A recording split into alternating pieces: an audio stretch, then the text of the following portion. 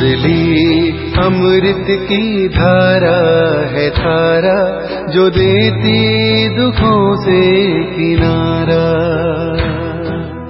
मुरली अमृत की धारा है धारा जो देती दुखों से किनारा।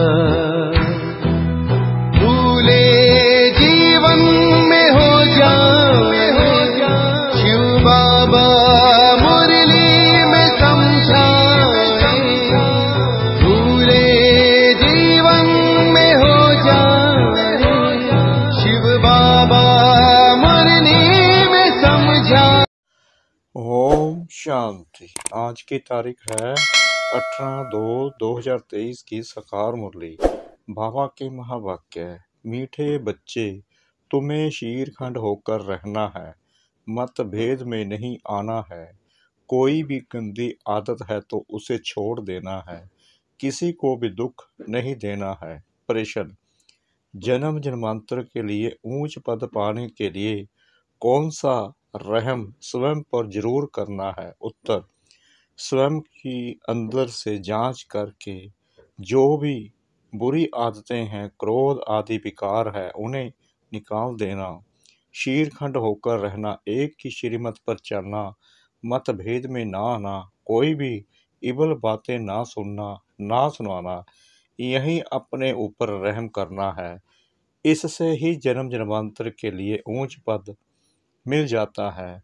जो अपने ऊपर रहम नहीं करते, वह 21 जन्मों के सुख को लकीर लगा देते हैं। गीत, ओम नमो शिवाय।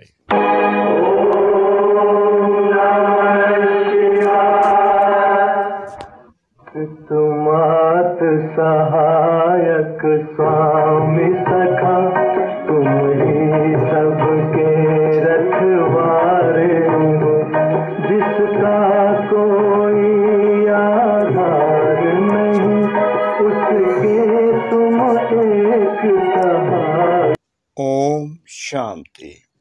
शिव बाबा की महिमा बच्चों ने सुनी। यह महिमा कौन करते हैं और कौन जानते हैं? सिर्फ़ ब्राह्मण कुलभूषण अर्थात नई मनुष्य सृष्टि की संप्रदाय जिन्हें परमपिता परमात्मा ने अपना बनाया या जन्म दिया है, वही जानते हैं, क्योंकि पहले पहले इस सृष्टि में वही ब्रह्मा द्वारा जन्म लेते हैं, जैसे तुमने पहले पहले जन्म लिया है, परमपिता परमात्मा से तो वह है सभी का सहायक, सारी दुनिया का सहायक। सभी दुख दूर करने वाला है। मनुष्य बहुत दुखी है, क्योंकि अभी है कलयुग का अंत तो सभी का सहायक बनते हैं। फिर भी अक्षर है ना, आम और खास तो खास भारत का है। उनमें भी खास जो बहुत जन्मों के अंत के जन्म में आकर मिलते हैं, अर्थात जो पहले पहले सृष्टि पर आते हैं। तुम बच्चे जानते हो तो कैसे सबका सहायक आकर बनते हैं? भगत भगवान को याद करते हैं, परंतु भगवान को जानते नहीं हैं। जब भगवान को ही नहीं जानते हैं तो भगवान जो नई ब्राह्मण मुख वंशावली रचते हैं, उनको भी नहीं जानते। परम पिता परमात्मा आकर पहले पहले ब्राह्मण संप्रदाय रचते हैं। यह कोई को पता ही नहीं। आदि सनातन देवी देवता धर्म तो है। सतयुग में बाकी संगम युग को भूल गए हैं। क्योंकि गीता के भगवान को ही द्वापर में ले गए हैं। सतयुग के आदि और कलयुग के अंत के संगम का किसको पता नहीं है। न गीता के भगवान को जानते हैं गीता तो है ही सभी शास्त्रों की मात पिता ऐसे नहीं कि सिर्फ़ भारत के शास्त्रों की मात पिता है, नहीं। जो भी बड़े से बड़े शास्त्र सारी दुनिया में हैं, सभी की मात पिता है भगवानुवाच मैं तुमको फिर से सहज राजयोग सिखाता हूँ। जिसको फिर गीता नाम दिया है तो अपने को भी कहना पड़ता है कि हम नई गीता सुनाते हैं। पुरानी गीता तो खंडन की हुई है। यह तो भगवान खुद अपने मुख कबल से बैठ सुनाते हैं। तुम्हारी बुद्धि में परमपिता परमात्मा शिव ही याद आता है। वह है स्वर कार चेता सबका सहायक। श्री कृष्ण को सभी का सहायक नहीं कहेंगे। भगवान सृष्टि का चेता एक ही है। श्री कृष्ण तो स्वयं रचना है। बगीचे का फ़र्स्ट क्लास फूल है। परमपिता परमात्मा को बागवान भी कहते हैं, खवैया भी कहते हैं। मनुष्य तो समझ न सके कि खवैया कैसे हो। बरोबर असार संसार से ले जाकर फिर यहाँ नई दुनिया में भेज देते हैं। यहाँ ही फूलों का बगीचा बनाते हैं। सभी बच्चे जो भगत बन गए हैं असुल भगवान की संतान थे, उनको माया दुखी बनाती है। भगवान तो है ही एक, वह सभी भक्तों को ज़रूर सुख देता है। कोई भी किसको सुख देता है, तब उनको याद करते हैं। स्त्री पति को अथवा बच्चा बाप को अथवा दोस्त दोस्त को याद करते हैं। ज़रूर उसने सुख दिया होगा। भाई से भी दोस्त प्यारा होता है, क्योंकि सुख देते हैं तो सुख देने वाले को ही याद किया जाता है। अभी सारी सृष्टि के मनुष्य भगत हैं। मनुष्यों के ही चौरासी जन्म गाए हुए हैं। कुत्ते बिल्ली के चौरासी जन्म नहीं कहेंगे। गाया भी क्या है कि आत्मा, परमात्मा अलग रहे। इस समय मेला होता है, परमपिता परमात्मा सभी बच्चों के बीच आते हैं। महफिल लगी हुई है ना? एक होती है सुख की महफिल, दूसरी होती है दुख की सतयुग में है सुख की महफिल, यहाँ तो दुख की कहेंगे। कोई मरते हैं तो भी दुख की महफिल लग जाती है। कोई बड़ा आदमी मरता है तो शौक में झंडा नीचे कर देते हैं तो दुख की महफिल हुई ना? भगत बहुत दुखी होते हैं तो भगवान को याद करते हैं, परंतु उनको जानते बिल्कुल नहीं, कहते भी हैं, उसने पैदा किया, आखरीन भी उनको जानेंगे या नहीं? अंत में गायन करते हैं, हे भगवान, तेरी लीला अपरम अपार है, महिमा गाई हुई है, तुम जानते हो, बाप नहीं होता तो सृष्टि चक्कर का राज कौन समझाता? कौन हमको चक्रवर्ती बनाता? अब संगम पर तुम सदा के लिए दुख से छूटने का प्रयत्न कर रहे हो। संगम युग कोई बड़ा नहीं है। अपना यह नया जन्म है। यह छोटा सा युग है। हम बच्चों के पुरुषार्थ के लिए बड़ा इम्तिहान है। इनकी सब्जेक्ट सभी इम्तिहानों से न्यारी है। पाँच विकारों पर जीत पानी है। बहुत मनुष्य कहते हैं पवित्र रहना तो असंभव है। गृहस्थ व्यवहार में रहते हुए माया को जीतना तो बड़ा मुश्किल है। समझते हैं, ऐसा उस्ताद तो मिल ना सके। सन्यासी भी घर बार छोड़ने बिगर पवित्र रह नहीं सकते। तो बाप इस माया पर जीत पाने की युक्ति बताते हैं। जैसे कल पहले भी सिखाई थी, जब बाबा सिखाते हैं तब हम भगत से ज्ञानी बनते हैं। इसको ही भारत का प्राचीन ज्ञान और योग कहा जाता है। इसको दुनिया में कोई भी नहीं जानते। बाप समझाते हैं, यह ज्ञान प्राय लोप हो जाता है और यह देवता धर्म भी लोप हो जाता है। ड्रामा में ही ऐसा है। जब पराय लोप हो जाए, सृष्टि दुखी हो, तब तो भगवान आकर फिर से स्थापन करे। यह भी कोई को पता नहीं कि कलयुग की आयु कब पूरी होती है। तुम ही बाप को और इस ड्रामा के आदि अंत को जानते हो। देखने में कितने साधारण हो। कुब जाएँ अहिलाएँ परंतु नॉलेज कितनी ऊँची है। अपने सारे चौरासी जन्मों के चक्कर को तुम जानते हो। थोड़ा भी कोई याद करे तो भी अच्छा। परंतु कोई प्रश्न पूछे और उत्तर देना ना आए। तो बोलना चाहिए कि हम अभी पढ़ रहे हैं, हमसे बहुत तीखे हैं, वह आपको अच्छी रीति समझा सकेंगे।